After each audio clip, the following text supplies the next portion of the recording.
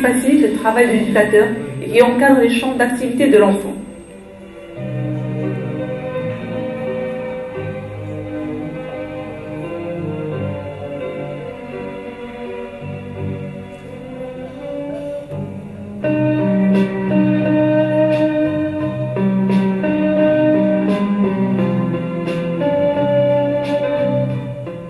L'évaluation de l'évolution de la moyenne générale montre que la stratégie adoptée par la FMPS, qui focalise ses actions éducatives sur l'éveil et l'autonomie, donne des résultats satisfaisants. Ainsi, l'évolution globale est ascendante.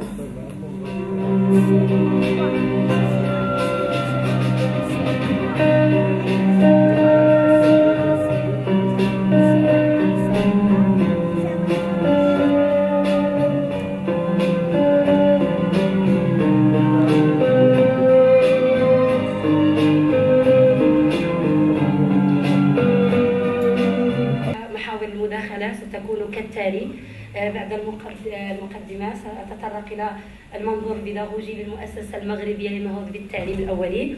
ثم سأحاول أن أتناول آه، في المحور آه، في المحور الثاني المبادئ الأساسية التي يرتكز عليها المنظور البيداغوجي للمؤسسة المغربية للنهوض بالتعليم الأولي.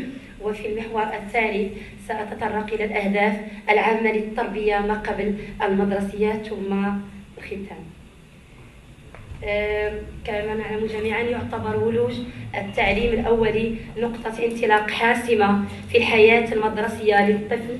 آه، وبقدر ما توفر المناخ الملائم آه، لهذه المرحلة بقدر ما نضمن نجاح الطفل واستمراريته في المراحل الدراسية الموالية. ولتحقيق ذلك فإنه فإنه يتعين تنسيق تربية ما قبل آه، مدرسية. ذات مواصفات تواكب المستجدات في هذا المجال مع مراعاة الخصوصيات الوطنية والجهوية إذ تعتبر هذه المرحلة معبرا يتيح للطفل اكتساب مهارات ومعارف أولية تنمي قدراته وتسهل نموه وتف- وتف- وتفتحه وبالتالي تؤهله لولوج المرحلة الابتدائية من التعليم.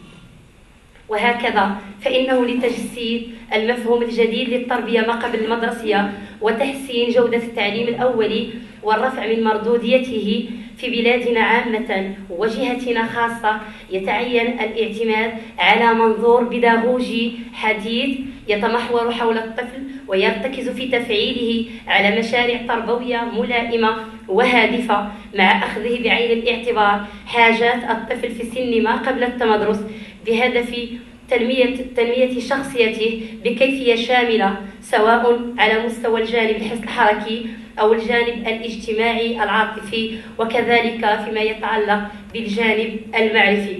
بحيث يسعى هذا المنظور إلى تحقيق كافة الأهداف العامة للتربية ما قبل المدرسية. ويتعلق الأمر هنا بمنظور بيداغوجي تمت بلورته من قبل المؤسسة المغربية للنهوض بالتعليم الأولي la FMPS فما هو المنظور البيداغوجي المعتمد من طرف المؤسسة المغربية بالتعليم الأولي وما هي مميزاته؟ ثم ما هي مختلف المبادئ الأساسية التي يرتكز عليها؟ وأخيرا علم التعليم الاولي لا تقتصر على الجانب الأكاديمي بل أنها تعتبر تعتبر مثالية للطفل لتنميه المهارات السلوكية والاستعداد العاطفي والنفسي. فأطفال التعليم الأولي تفوقوا على اقرانهم الذين حرموا من تجربه التعليم ما قبل المدرسي في مقاييس التكييف النفسي والسلوكي. وتبين حسب بعض الدراسات الأمريكية أقل ان الطفل اللي قرأ في التعليم الأولي أقل أقل بالمشاكل السلوكية داخل وخارج المدرسة. أقل إجراما وسرقة وبالتالي أقل عند المجتمع. أكثر انتاجا ولديهم أفضل فرصة للمشاركة في سوق العمل. التأثير الإيجابي للتعليم الأولي على استمرار التلميذ في السلم التعليمي وبالتالي الخفض من الهدف المدرسي. آه، هذه النقطة الأخيرة والملاحظة الأخيرة من المهم الإشارة بأن الأطفال ذوي الدخل محدود هم أكثر الأطفال الحاجة حاجة وأكثرهم استفادة من تجربة التعليم مع قبل المدرسي. وهون تدخل هون هون الوكالة بالضبط علاش دخلت في هذا البرنامج على حساب هذه الفئة اللي في وضعية فقط بغيناهم باش يستفادوا ويحققوا تحقق تكافؤ مع اقرانهم من اقرانهم اللي قدروا يدخلوا في من عندهم أبائهم. إمكانيات باش يدخلوهم في مؤسسات خاصة. آه، عندنا هدف برنامج. آه، اولا الهدف العام المساهمه في الحد من هذا المدرسي ورفع نتائج التمدرس الاهداف الخاصة هي تعميم التعليم الأولي في جهه والدها الكويره آه، تحسين جودة العرض التربوي الجهه تهيئه أطفال الجهه لولوج المدارس الابتدائية.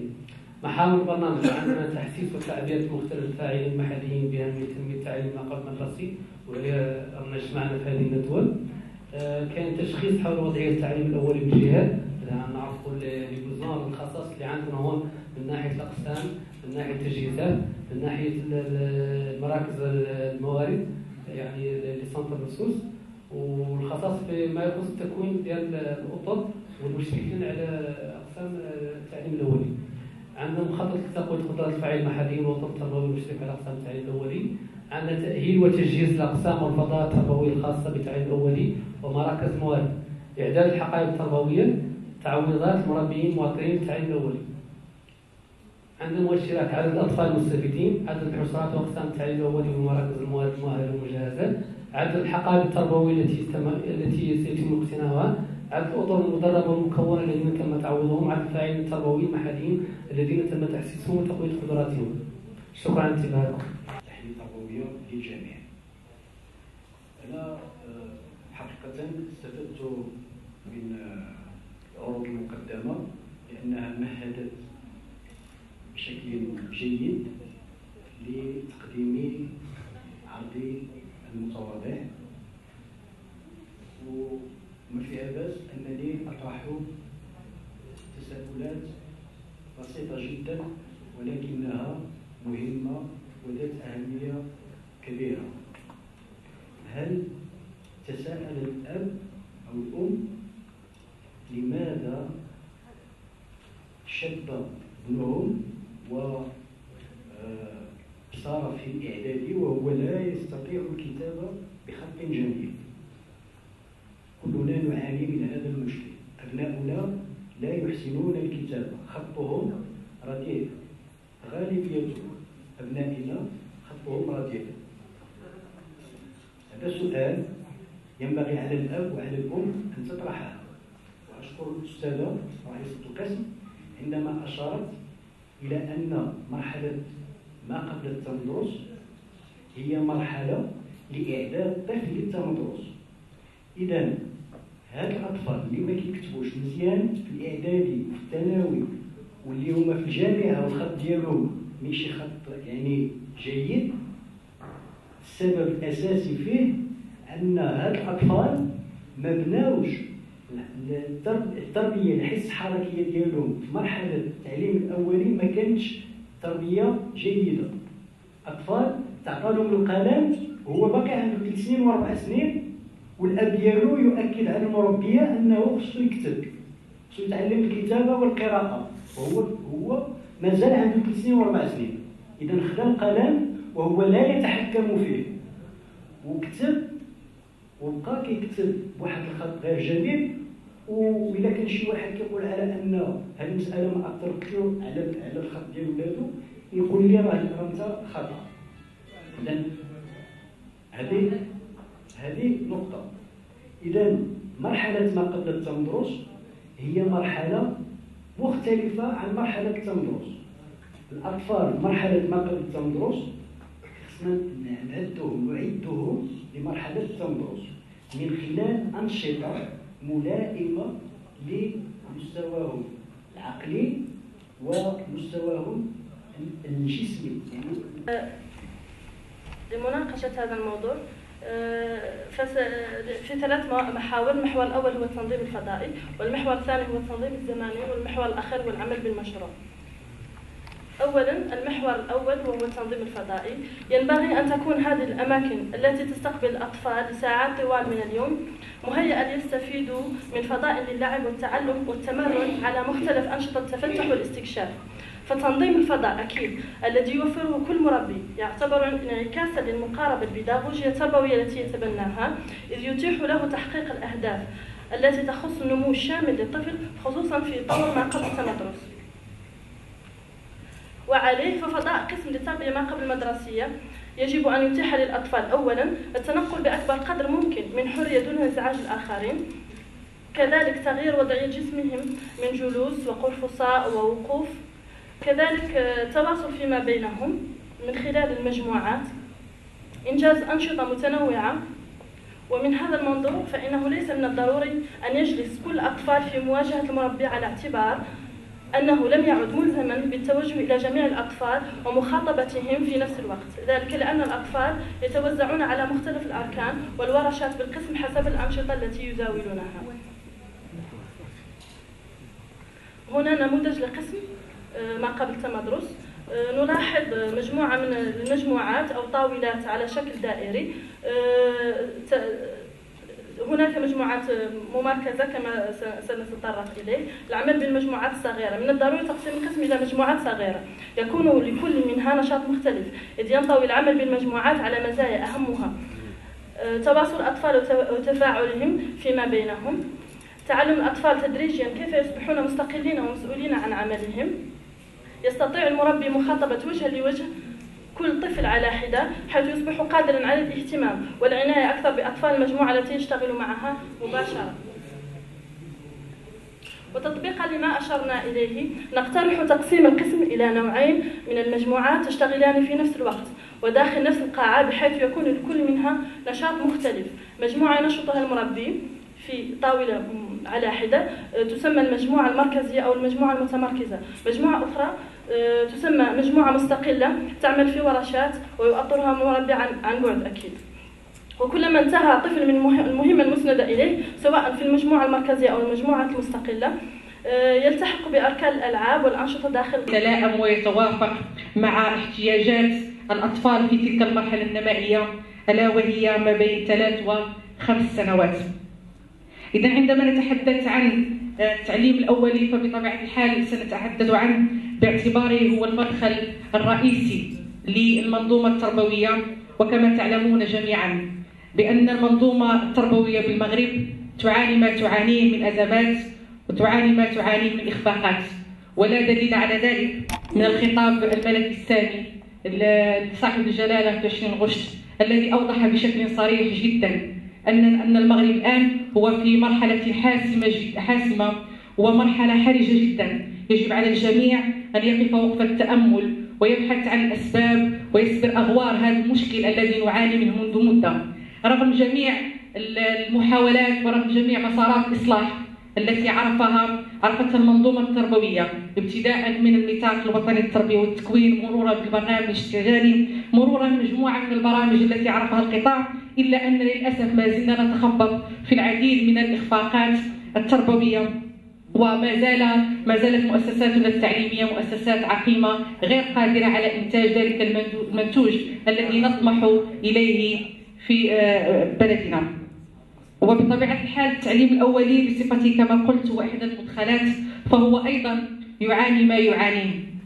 لأننا عندما نتحدث عن ما رأيناه الآن ما رأيناه الآن من صور وما رأيناه من صورة حول التعليم الأولي كما قلت هذه الصورة الطبيعية التي يجب أن تكون. هذا هو الواقع المامول هذا هو الواقع المرجو الذي نرجوه بطبيعة الحال أن يكون في كل في كل المؤسسات التعليم الأولي.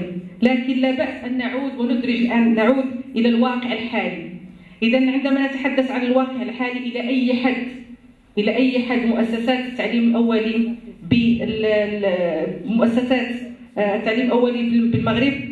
قد استطاعت أن تصل إلى هذا المنظور الذي نطمح أحمد الفلاح المدير آه، البيداغوجي للمؤسسة المغربية للنهوض بالتعليم الأولي. فالمؤسسة المغربية للنهوض بالتعليم الأولي لها دورين اساسيا فهو اشتغال على الجودة أساسا بالنسبة لل يعني للمنظور البيداغوجي للمؤسسة المغربية. تشتغل أيضا على التكوين آه، تشتغل آه، على على كيفية إنشاء المدارس وكيفية سيرها. وتشتغل أيضا حتى على البحث العلمي في المستقبل القريب. آه، ثانيا الموضوع الثاني اللي كتشتغل عليه هو تعميم آه، التعليم الأولي بالمغرب على أساس أنها شريكة للمجلس الأعلى للتعليم وأنها شريكة أيضا لوزارة التربية والتكوين وشريكة أيضا لمجموعة من المؤسسات الفاعلة في بما يخص الطفولة الصغرى. وفي الحقيقة هذا اليوم اللي جينا من أجله فهو من أجل التكلم على بيداغوجية التعليم الأولي بالجهة وعلى تحسيس بأهمية آه، المرحلة هذه المرحلة العمرية. وثانيا آه، أيضا باش نقدموا التجربة ديالنا الرائدة اللي عندها خمس سنوات إلى إلى إلى, إلى يومنا هذا واللي كتكلم على ما هي منتوجاتها البيداغوجية منتوجاتها في التكوين منتوجاتها على يعني آه، على صعيد المملكة المغربية. عبد المجيد الطاهري مفتش التعليم الابتدائي بوزارة التربية الوطنية والتكوين المهني. آه، أنا لي شرف أنني حضرت هذه الندوة التي آه، نظمتها المؤسسة المغربية للنهوض بالتعليم الأولي وذلك بهدف آه، إعطاء فكرة عن منتوجها المتألق اللي هو سلسلة التفتح والإبداع الذي يعتمد مقاربة ديال البيداغوجية بالمشروع.